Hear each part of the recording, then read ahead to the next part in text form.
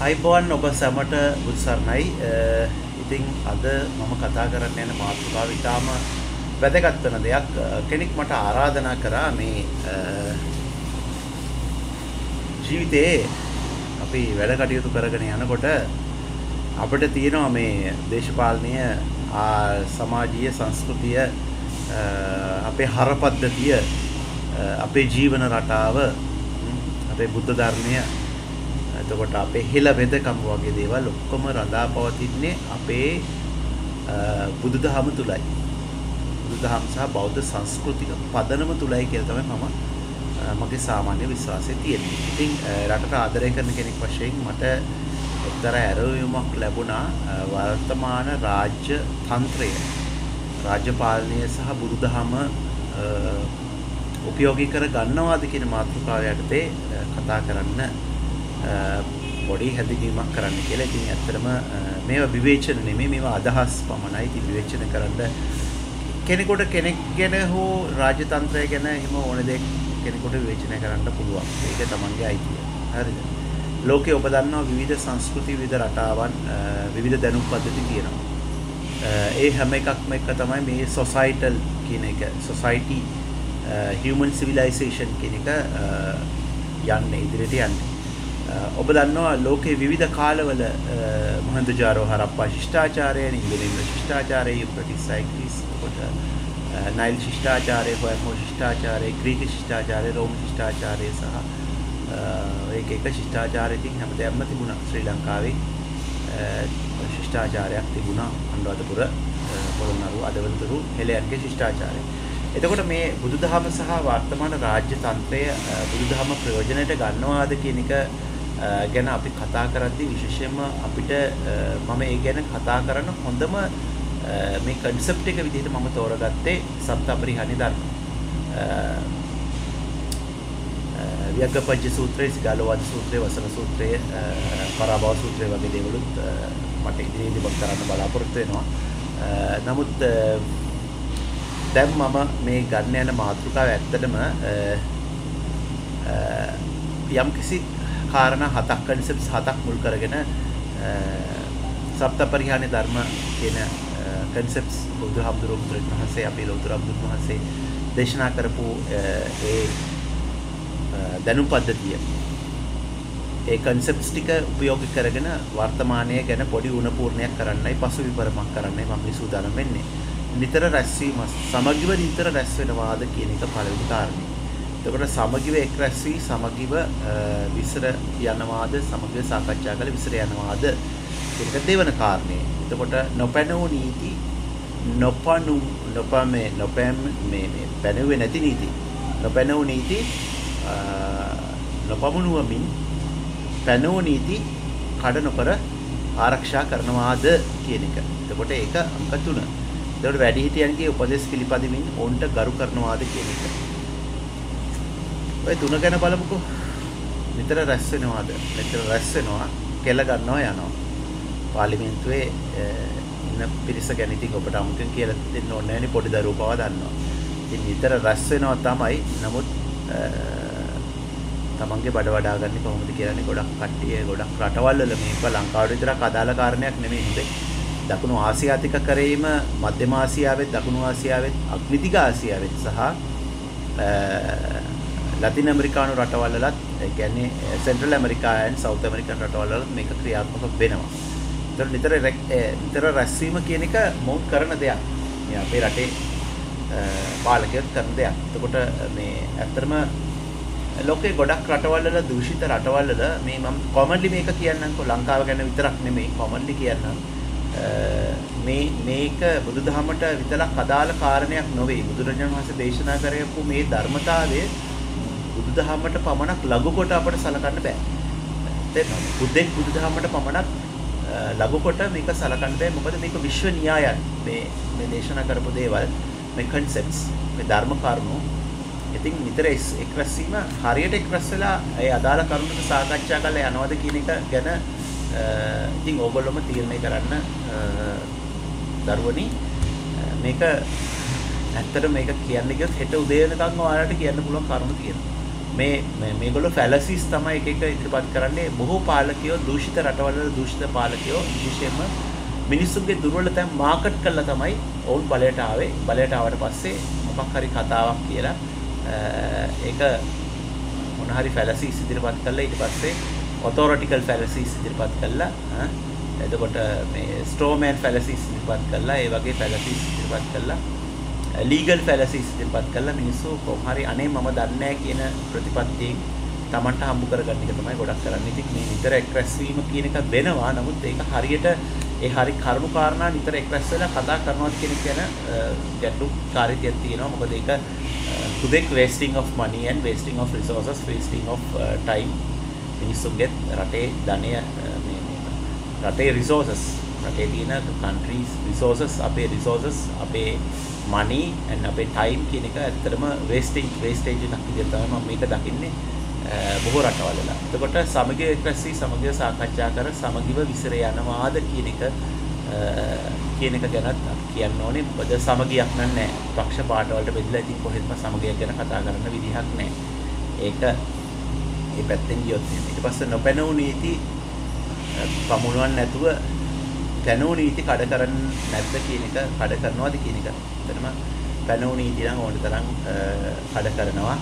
එතකොට අපි ගත්තොත් ස්ටේට් කරප්ෂන්ස් එක පැත්තකින් ෆයිනෑන්ෂල් කරප්ෂන්ස් තව පැත්තකින් ෆැමිලි කරප්ෂන්ස් ඒ වගේ ඔක්කොම ස්ටේට් ගවර්න්මන්ට් කරප්ෂන්ස් හැමතැනම තියෙන රටවල් ඉතින් දූෂිත රටවල් අතරට අපි එකතු වෙලා තියෙනවා ජයග්‍රාහී විදිහට. එතකොට සිම්බාබ්වේ ගත්තත් ලෙබනනය ගත්තත් මේ පැත්තෙන් කප් ගහපු රටවල්.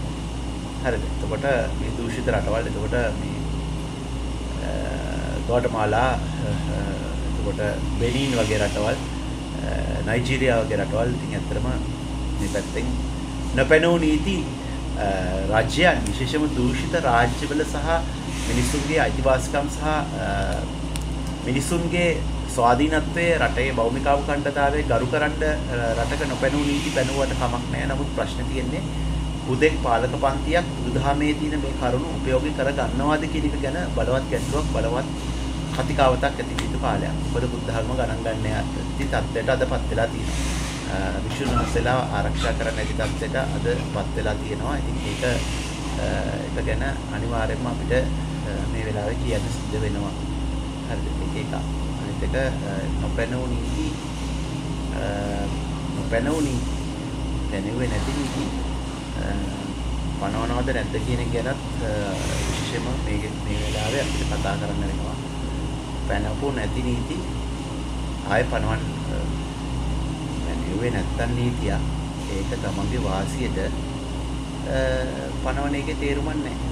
නේද ඒක එකක්. අනිත් එක තමයි වැඩිහිටියන්ගේ උපදෙස් පිළිපදින්න ඕන්ට කරු කරනවාද කියන එක. වෙන්නේ නැහැ ඇත්තටම. අද ගත්තොත් එහෙම වැඩිහිටියෝ විශේෂයෙන් ඉන්නේ ළමා මේ මේ වැඩිහිටි මාසවල. ඒක ගැන අනිවාර්යෙන් කියන්න වෙනවා. වැඩිහිටියෝ ඉන්නේ වැඩිහිටි නිවාසවල බොහෝ තැන්වල පෙර ලංකාව අවුරුදු 100කට 150කට තිබ්බ කාලේ තත්ත්වේ නෙමෙයි අද තියෙන්නේ ඒකත් එතකොට විවාහක හෝ අවිවාහක කුලකාන්තාවන්ගේ කුල කුමරියන්ගේ ආරක්ෂාව තහවුරු කරනවාද කියන එක ගැන ලොකු ප්‍රශ්නයක් තියෙනවා. ඒක ගැන නම් කතා කරන්න වැඩක් නැහැ. මොකද අපිට කාන්තාව දරුත්වය ගැන ගත්තොත් එහෙම අපේ රට බොහොම පල්ලෙහා තත්ත්වකින් විශේෂයෙන්ම අපි ගත්තොත් ආකියොලොජිකල් සයිට්ස් ටික අපේ උතුරු නැගෙනහිර තියෙන ආකියොලොජිකල් සයිට්ස් ටික අන්‍යාගමික විද්‍යා දෘෂ්ටිකයන්ගේ අන්‍ය ජාතිකයන්ගේ ග්‍රහණයට අහු වෙලා මංකොල්ල කාලා ඒක විනාශ කරන තත්ත්වයටපත් වෙලා නම් අපේ ශිෂ්ටාචාරයේ තියෙන නටබුන් සහ අපේ ශිෂ්ටාචාරයේ අපේ ප්‍රෞಢ ඉතිහාසයේ තියෙන මේ ආකියොලොජිකල් සයිට්ස් එහෙම අපේ නටබුන් පුරාවිද්‍යාත්මක කැණීම් කරන ස්ථාන රැක ගන්නවත් රජයක් නීති කෙටුම්පත් සකස් කරන්නේ නැත්නම් ඒ හරියට නීති ක්‍රියාත්මක වෙන්නේ නැත්නම් නීති තියෙනවා ඒවා ක්‍රියාත්මක වෙන්නේ නැති එකේ වරදක් තියෙන්නේ. ඉතින් එතන ගත්තොත් එහෙම ස්වාමීන් වහන්සේලාට අවශ්‍ය ගරුත්වය දෙන්නේ නැහැ කියලා බුදුදහම ආරක්ෂා කරනවාද කියන එක ගත්තොත් එහෙම එතනත් ලොකු ප්‍රශ්නයක් තියෙනවා ඇත්තටම. මේක මිනිස්සුත් මේකට වගකිය යුතුයි කියලා මම විශ්වාස කරනවා. මොකද හේතුව මිනිස්සු මේ රටේ ඉන්න මිනිස්සු වගකිය යුතුයි. මොකද තැන් තැන්වල සුරාබදුහල් දේශපාලකයන්ගේ අනුදැනුම පිට ඔවුන් තමයි ලයිසන් ගොඩක්ම ලංකාවට කුඩු දෙන්නන්නේ දේශපාලකයෝම තමයි. ඉතින් පොලිසියට ඔක් ගැන පොලිසියට බැනලා අපි වැඩක් නැහැ.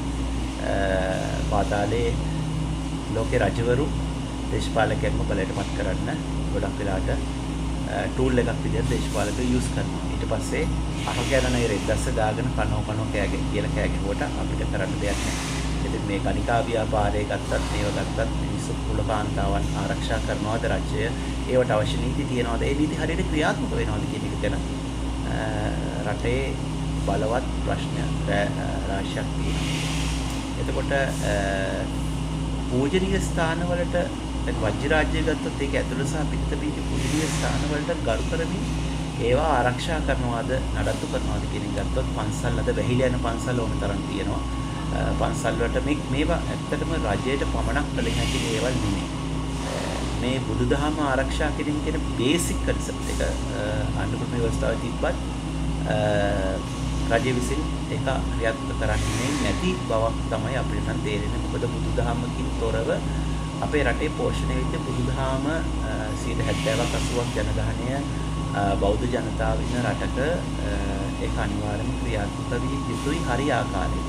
නමුත් මේවට ඇතැම් ස්වාමීන් වහන්සේලා ඇත්තටම මේ ස්වාමීන් වහන්සේලාත් සමහරවිට දේශපාලනිකකරණය වෙලා දේශපාලකින් විසින් මේ දූෂිත දේශපාලනය නිසා ගොඩක් ලෝක රටවල් විනාශ වෙන්නේ දූෂිත දේශපාලකයන්ගේ දූෂිත ක්‍රියාකලාපයන් සහ ඔවුන් හරියට නිසි ක්‍රමවේදයකින් තොරව නිසි දේශපාලන ප්‍රතිපත්ති තීන්දුව తీරන ගැනීමේදී නිසි වග විභාගයකින් තොරව වගකීම සහ වගවීම කියන දෙකකින් තොරව ඕන් කටයුතු කරන ආකාරය නිසා. මේක මේ එක වීඩියෝ එකක් විතරයි. මට මේක ගැන ගොඩක් වීඩියෝ කරන්න පුළුවන්. නමුත් මේ බොහොම කෙටියෙන් මම කියන්නේ.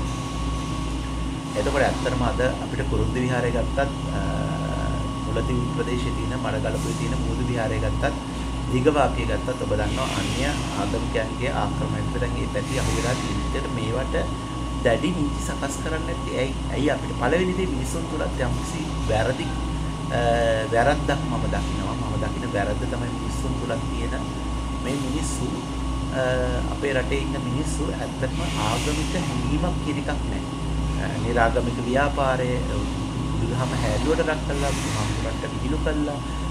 ඒක බුදුදහම පවා මේ ඇත්තටම නටාෂාගේ කේස් එක කලින් මේ දැන් මාස ගානකට උඩදී ඇතිවෙච්ච දේවල් දැන් මේ වගේ දේවල් ඇත්තටම මේ වගේ දේවල් වලට හඩක් නගන්න තරම්වත් මිනිස්සුන්ටත් ගාණක් නැතුව වෙන්නේ සමහර විට මිනිස් ස්වාමීන් වහන්සේලාගෙත් යම් යම් වැරදි තියෙන්න පුළුවන්. නමුත් අපි බනින්න ඕනේ නෙමෙයි කරන්න ඕනේ විශේෂයෙන්ම ස්වාමීන් වහන්සේලාට රටේ නීතියක් තියෙනවා ඒක ඒ වගේ තියෙනවා නෑ කියන්නේ.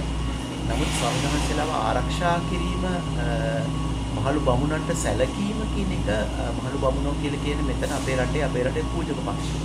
ඒ පූජක පක්ෂය කුමන ආගමක හෝ වේවා මේවට කතිකාවට ගොඩ නැගිය යුතු කාලය කියලා මම හිතනවා. මොකද මේක තම රාජ්‍යයට නොපැණි පූජ්‍ය පක්ෂයේ ගෙන්වා ගැනීමක් පැමිණ සිටි පූජ්‍ය පක්ෂය පක්ෂයට දැහැමි රැකවරණයක් සලසා දීමක් සිදු කරනවාද කියන එක ගැන අද බලවත් කතිකාවතක් ඇතිවිතු කාලයක් මොකද මේක ඇත්තටම විනාශ වෙලාම ගිහිල්ලයි කියලා මට වෙලාවකට බොහෝ විට මට හිතන කාරණයක්. අපේ රට විනාශ වෙලා. මොකද හේතුව බුදුදහමෙන් ලැබිය යුතු පෝෂණය අපේ රටට නැති වුණේ විශේෂයෙන්ම බ්‍රිතාන්‍ය පාලකයන්ගේ කාලේ. ඔවුන් තමයි සුරාබදු නීති ගෙනල්ලා සුරාබදු සුරාව සුරාබදු නීතිය උන් හඳුන්වා දුන්නත් සුරාව සුදුව කියන එක මේ රටට හඳුන්වා දුන්නේ ඕන. හරිද? එතන මම කියන්නේ පිටරට ඒ කාලේ 1505ට පෙරත් මේක තිබුණ නෑ කියලා කියනෝ නෙමෙයි. ඉතින් ඕන් මේ ඒ ඒ අපි සබුද්ධික විය යුතුයි සවිඥානික විය යුතුයි මනසට ගෝචර කරගන්න මේ හරි දේ මොකද්ද වැරදි දේ මොකද්ද කියලා. නිකන් ෆැලසි සිද්ධපත් කරලා අපි හරියන්නේ නැහැ. ඉතින් මේක මේ தත්ත්වය අපේ පුනරුදයක් බෞද්ධ පුනරුදයක් කියන එක කවදද ඇති වෙන්නේ කියන එක ගැනත් අපිට ලොකු ප්‍රශ්න තියෙනවා. ඒක අපිට නෑ කියන්න බෑ. විශේෂයෙන්ම දැන් අපි විතර එක්රැස් වීම කියන එක රාජ්‍ය කරන කිසි ආයතනයක විතර එක්රැස් වීම කියන එක අනිවාර්යෙන් වැදගත් වෙනවා. අපි ගත්තොත් එහෙම මේක මම මේක කියවොත් එහෙම නිතර කිසියම් රාජ්‍යකව ආයතනිකව සංවිධානයකව පාලනය කටයුතු බාරව පිරිස් විතර එක්රැස් වේ නම් හෝ කලින් කලට පැන නගින ගැටලු සාමකාමීව සාධාරණව निराකරණය කර ගැනීමට අවස්ථාව උදා වෙනවා. ඒක අනිවාර්යයෙන්ම කිය යුතු දෙයක්. ඒක එහෙම අවස්ථාව අපිට නෑ කියන්නේ අපි එතනදී සෑහෙන අසරණයි කියන එක තමයි ඒක කියන්නේ. මොකද නිතර එක්ස්ප්‍රෙස් වීමක් අපි වෙනවාද? කොට ඔවුන්ගේ දුවනුවටම හේතු වෙන බුදුහාමුදුරන් වහන්සේ දේශනා කරපු මේ මේ මේ සෙට් එකම ඇත්තටම නිතර එක්ස්ප්‍රෙස් වීම කියන එක ඒකට කලින් කාලයට පැන නගින ගැටලුව සාමකාමීව හා සාධාරණ निराකරණය කර ගැනීමට අවස්ථාව උදා වෙනවා. අනිත් එක ශනික පැන නගින ගැටලුව වලට විසඳුම් සෙවීමටත් වගකිය යුතු පිරිස් විතර එක්රැස් විය යුතුයි. එකිනෙක අතර සුමදතාවය, කියන්නේ යුනිටි එක, ට්‍රාන්ස්පරන්සි එක, යුනිටි කියලා කියන්නේ ඉතින් සමගිය නේද? සමගිය අවශ්‍යයි. ඒ වගේම ට්‍රාන්ස්පරන්ට් විනිවිද පෙනෙන ස්වභාවය පක්ෂග්‍රාහීව කටයුතු නොකර රට ප්‍රමුඛව කටයුතු කිරීම රට පෙරට තියලා රට පළමුවෙන්ම තියලා ඊශ්‍රායලයේ වගේ කටයුතු කිරීම තමයි මේ අවස්ථාවේ කළ යුත්තේ. ඉතින් එකිනෙක අතර සුහදතාවයේ මිත්‍රශීලී බව අන්‍යෝන්‍ය විශ්වාසය සොලිඩ් පදනමක් තුලින් මේ මේ මේක අවස්ථාව උදා වෙනවා රටක ආයතනයක හෝ පාලන බලාධිකාරයට අධිකාරයට සම්බන්ධ පිරිස් එකතු නොවී තනි පුද්ගලයෙක්ගේ තනි පුද්ගලයෙක්ගේ බල ඒකාධිකරයට අනුව අනුගතව රාජ්‍ය පාලන කටයුතු සිදුවන්නේ නම් ආඥාදායක පාලනයක් කියන සොඳුරු ආඥාදායක පාලනයක් ලංකාවේ ක්‍රියාත්මක වෙනවා කියලා තමයි අපිට කියන්න තියෙන්නේ. මොකද මෙතනින්ම නිර්මාණය වෙනවා. ඒකට බෙහෙවින්ම රටකට සමාජයකට විපත්තිදායකයි මේක. මේ නිසා බුදුමහස මේක දේශනා කරේ මේක ඇත්ත හරිම වටින දෙයක්. ඇතන බුදුරණවහන්සේගේ උපසපන් භික්ෂුන් වහන්සේලාට දෙමාසකට වතාවක් මාසකට දෙවතාවක් සමා වෙන්න රැස්වීමට උපදෙස් ලබා දුන්න බුදුරජාණන් වහන්සේ. බුදුන් වහන්සේගේ ධර්මය තුළ අපට ලබාගත හැකි කරුණු කාරණා බොහොමයි. එතකොට මේකෙන් බුදුන් වහන්සේ අපේක්ෂා කළේ භික්ෂු සමාජයේ කලින් කල ඇති වුණ ගැටලු නිරාකරණය කර ගැනීමට ශාසන චිරස්ථිතිය උදා කරලීම තමයි බුදුන් වහන්සේ දේශනා කරේ මේකේ අපේක්ෂා කරේ. එතකොට ඔබ දන්නවනේ ධර්මදර භික්ෂු හා මේ මේ විනයදර භික්ෂුන් අතර යම්කිසි කලකෝලහලයක් ඇති වුණා බුදුහන්සේගේ ජීවමාන වැඩ සිටපු කාලේ. එතකොට බුදුහන්සේ බුදුරජාණන් වහන්සේ පාර්ලී වනයේට වැඩම කරයි කියලා කියනවා නේද? එතකොට භික්ෂුන් වහන්සේලාගේ ඒ එක්රැස්වීමට කටයුතු කිරීමේ විනය ශික්ෂාවත් සිහිපත් කිරීමත් විනය නීති උල්ලංඝනය කළ භික්ෂුන් වහන්සේ සම්බන්ධයෙන් සම්බන්ධයෙන් යම් යම් තීරණ ගත්ත බුදුන් වහන්සේ. එතකොට ඒකට අවකාශයක් කියලා සැලසෙනවා. දෙනවා. එතකොට එම ක්‍රියාමාර්ගය පිළිබඳව උරණ වීමට වාද විවාද කර ගැනීමක් සිදු වෙනවා. ඒකෙන් ඒකේ ශාසන උන්නතිය කෙරෙහි බලපානවා. මහා විහාරයේ සහ මේ මහා විහාරයටත් ඕක තමයි උනේ. මේ අනුරාධපුර සමයේ. ඉතින් මේ වගේ ඇත්තටම තාම වැදගත් මේ මේවා අපේ අපේ සමාජයට විශේෂයෙන්ම අද අපි මේ වෙසක් සැමරුවා කියන එක කුඩු හදලා විතරක් නෙමේ ප්‍රතිපත්තිමය ප්‍රතිපත්තිය. ආගමික යම්කිසි සංහිඳියාවක් ඇති කරගෙන යම්කිසි ප්‍රතිපත්ති මාලාවක් තුළ ඉඳගෙන අපි කටයුතු කිරීම තමයි කළ යුත්තේ. මොකද අද අන්‍යාගම් වලට තියෙන සැලකිල්ලවත් අද බුදුදහමට නැහැ කියන එක මට තේරෙනවා. මානම් හිතන්නේ මොකද අපේ ආගම අපි නිකන් නිකන් ලේබල් ගහලා ලේබල් බෞද්ධයෝ වෙලා නිකන් මේ අපි ෆැබ්‍රිකේට් කරපු බෞද්ධයෝ වෙලා හරියන්නේ නැහැ විශේෂයෙන්ම ස්වාමීන් වහන්සේලාගෙත් යම් යම් ගැටලුකාරී තන් තියෙනවා. මොකද සමහර ස්වාමීන් වහන්සේලා මේ ආරණ්‍යවල නැත්නම් පන්සල් කියන්නේ විහාරස්ථාන හදාගෙන නිකන් කඩින්නාසෙලා වගේ මේ කටයුතු කරනවා. තමන්ගේ ඕන ඕන අතරත් භික්ෂුන් වහන්සේලා අතරත් දේශපාලනයක් මම දකිනවා. මම කියන එක තමයි හරි අරයා කියන එක වැරදි අරයා කියන එක තමයි හරි මම කියන එක වෙනස්. ඊට වඩා මම කියන එක තමයි මේ හරිම මාර්ගය. සමහරව ඇත්තටම මේ රහත් වෙලක් තියෙනවා. සමහරව බුදු වෙලක් තියෙනවා. ඉතින් ඕක මේක ඇවිල්ලා එක විකාර රූපී අදහස් ගොඩක් තියෙනවා ඉතින් බුදුදහම ඇත්තටම අපි බුදුදහමෙන් ගන්න ඕන සහනශීලී ප්‍රතිපත්ති ඇත්තටම අපි අපි අපි ක්‍රියාත්මක කරනවාද කියන එක තැන් තැන්වල නීති නීති බුදුදහමේ තියෙන නීති හරියට අපේ රට තුළ ක්‍රියාත්මක කළ යුතුයි. බුදුදහමේ තියෙනවනේ යම්කිසි නීති පද්ධතියක්, හර පද්ධතියක්, යම්කිසි දැනුම් පද්ධතියක්. ඒක අපේ රටේ ක්‍රියාත්මක වෙනවා නම් අපිට මේ ප්‍රශ්න වෙන්නේ නැහැ කියලා තමයි මගේ මේ ක්වික් වීඩියෝ එකකින් මම ඔයගලන්ට කිව්වේ. ඉතින් රාජතන්ත්‍රය ඇත්තටම බුදුදහමත් මාකට් කළා බුදුදහමත් දේශපාලනීකරණය කළා.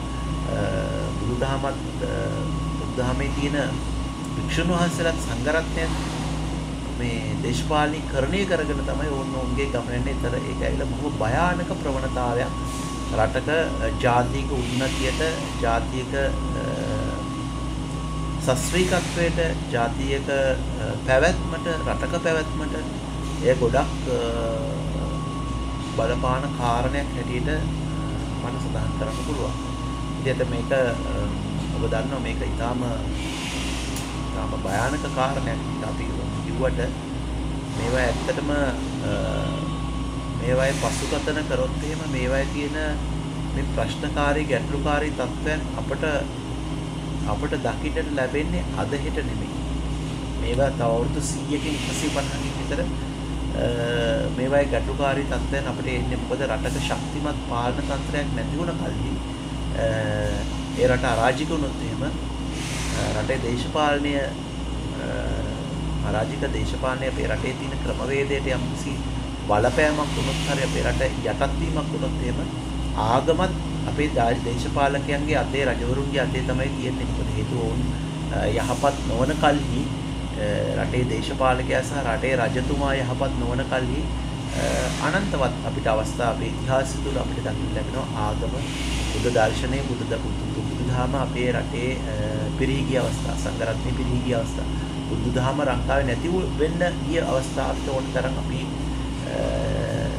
අපිට ඉතිහාසය තුළින් අපිට දකින්න ලැබෙනවා. ඉතින් අනුරාධපුර යුගයේ පොළොන්නරු යුගයේ විශේෂයෙන්ම බලගම්බා රජතුමාගේ කාලේ ඔය වගේ කාලේ බැමි ඉතිහාසයේ කියන සාගතය චෝල ඉන්දියා ආක්‍රමණය හමුවේ එතකොට එලාරගේ ආක්‍රමණ ඉතින් ඒ වගේ විශේෂයෙන් එල්ඩීසි සංවිධානයත් අපේ රටට ආක්‍රමණය කළ අපේ රටේ යුද්ධ යුද්ධයක් ඇතිතර පවස්ථාවේ අපේ රටේ ස්වාමිනාන්සලාව ඝාතනය කරා. අරන්තලා සංඝ ඝාතනය එතකොට දල්දා මාලිගාවට බෝම්බ තිබ්බා මේ හැම එකකින්ම උන් බලාපොරොත්තු වෙන්නේ කුමක්ද රටේ ආගම දහම අපේ හරපද්ධතිය අපේ කුඳුනාරටිය අපේ බැක්බෝන් එක ඩිස්ට්‍රොයි කරලා දාන එක. බැක්බෝන් එකට වෛරස් එකක් දාන්න එක. මොකද බැක්බෝන් එකට වෛරස් එකක් දැම්මොත් එතනින් එහාට අපේ මැරබෝන් වල කැන්සර් එකක් ඇති වුණොත් එහෙම ඕනම පුද්ගලයෙක්ගේ මිය යන්න තියෙන ඉඩ ප්‍රස්තාව කැන්සර් එකක් හැදුනොත් කොහොමත් මිය යනවා. නමුත් මැරබෝන් වලට ආවා කියන්නේ ඉතින් සොරිම තමයි බඩුම තමයි සිංහල භාෂාවෙන් කියනවා. ඉතින් මේකයි මගේ අද මාතෘකාව විදිහට මම තෝරගත්තේ. ඉතින් කෙනෙක්ගේ ආරාධනාවක් අඩුවක් කෙනෙක්ගේ අදහසක් අනුවයි මම මේක මා දන්නා පුතෙක්ගේ අදහසක් අනුවයි මගේ ස්ටුඩන්ට් කෙනෙක්ගේ මට කියන්නේ ඉච්චරයි. මේ ක්‍රමය කෙසේද වෙනස් කරන්නේ කියන එක ගැන එක ඒකත් ඇත්තටම උභයතෝටිකයක්. මේක කෙනෙකු එක පුද්ගලයෙකුට කළ හැකි දෙයක් නෙමෙයි. මේක සමූහයක් වශයෙන් ගත් කල අප සැමටම අයිතියක් තියෙනවා මේ වෙනුවෙන් කතා කරන්න මේ වෙනුවෙන් ප්‍රතිපත්ති මේ විශේෂයෙන්ම බුදුදහම කියන දේ අපි ප්‍රතිපත්තිමේ වශයෙන් ප්‍රතිපත්ති කරුකව අපි සිටියොත් බුදුදහම රැකේ. විශේෂයෙන් අපි තැන් වල සුරාසල් දාලා එතකොට තැන් වල නයිට් ක්ලබ් දාලා ක්ලබ්ස් දාලා ඒ වයින් කුඩු ගෙන්නනවා නම් ඒ ඒ ඒ කවදාවත් අපේ රටේ ආගම කියන එක රැකෙන්නේ නැහැ. අතම ආගමක් තියනවාද කියලා අපිට වෙලාවකට හිතෙනවා මේ මිනිසුන් කරන නොමිනිස් ක්‍රියාකාරකම් නිසා. අන්න එතරයි තියෙන ගැටලුව තියෙන මේවා මේ මේ බුද්ධ ආගම නිතර බුද්ධ බෞද්ධ දර්ශනයකින් අපි ප්‍රැක්ටිකලි ස්ටඩි කරන්න ඕනේ. මේක ජනතාව අතරට යන්න ඕනේ. අන්න ඒකයි වෙන්න ඕනේ දේ. එහෙම නැති වුණොත් එහෙම යතිවරයන් වහන්සේලාගේ මහා සංඝරත්නයේ අරමුණ සහ යුතුයකම සහ වගකීම එකයි. එහෙම නැති වුණා කියන්නේ එතන ලොකු ගැටලුකාරී තත්ත්වයන් ගොඩක් තියෙනවා. ඒකයි විය යුත්තේ ඒකයි මගේ තියෙන මගේ නම් මම නම් තරේ විශ්වාස කරනවා ඒක. ඉතින් අපි බලමු ඉදිරියේදී මේක සාකච්ඡා කරලා ඒ කතිකාවත සමාජ සමාජයේ සබුද්ධික ජනතාවට මොකද අපි හැමදාම මම මම මම හිතන දෙයක් තමයි විශේෂයෙන් ඔබට මේ දෙක කිය යුතුමයි මම මා හිතන දෙයක් තමයි හැමදාම අපේ රටේ අපි කියනවා ඒකට ප්‍රින්සිපල්ස් ආකල්ප. ආකල්ප ගැන ලොකු ගැටලුවක් තියෙනවා. ආකල්ප පිළිබඳව ලොකු ගැටලුවක අපි ඉන්නේ. ලොකු අඩුවක අපි ඒක කොහොම කරන්නද කියලා මම දන්නේ නැහැ. නමුත් ඒක තමයි ඇත්ත. අපි මොනා කරත් මොනා කිව්වත් ඒක තමයි ඇත්ත. ඉතින් ඒකයි ඇත්ත වශයෙන්ම මේ ගැන කතා කරනකොට මේ අඩුව කොහොමද පුරවන්නේ විශේෂයෙන්ම අපේ බෞද්ධ සිද්ධාස්ථාන ටික අන්‍යාගමිකයන්ගෙන් ඔවුන්ගේ තියෙන මේ මේ ආක්‍රමණ වලින් රැකගන්නේ කොහොමද කියන එක ගැන අපිට එකතු වෙන්න සිද්ධ වෙනවා. සංවිධාන මේ රාජ්‍ය සංවිධාන සහ බෞද්ධ සංවිධාන මේ වෙනුවෙන් හඩක් නැගිය යුතුයි. අපි මේ ගැන ක්‍රියා කළ යුතුයි. අපි ශක්තිමත් විය යුතුයි. නැත්නම් අපිට යන්න රටක් නැහැ වෙන. අපේ රට හැමෝම රට දාලා දාලා යනවා. අර මම ඉස්සෙල්ලා වීඩියෝ එකක් කිව්වා. ඉතින් ඒකයි අද මම කතා කරන්න සූදානම් වෙලා ඔබ ඔබ හමුවේ ලැබුවේ. එහෙනම් බොහොම ස්තුතියි මගේ වීඩියෝ එක ඔබ නැරඹුවට. එහෙනම් ගිහින් එන්නම් බුද්ධ සරණයි හැමෝටම ජය වේවා කියලා ප්‍රාර්ථනා කරනවා. එහෙනම් සුබ දවසක් වේවා.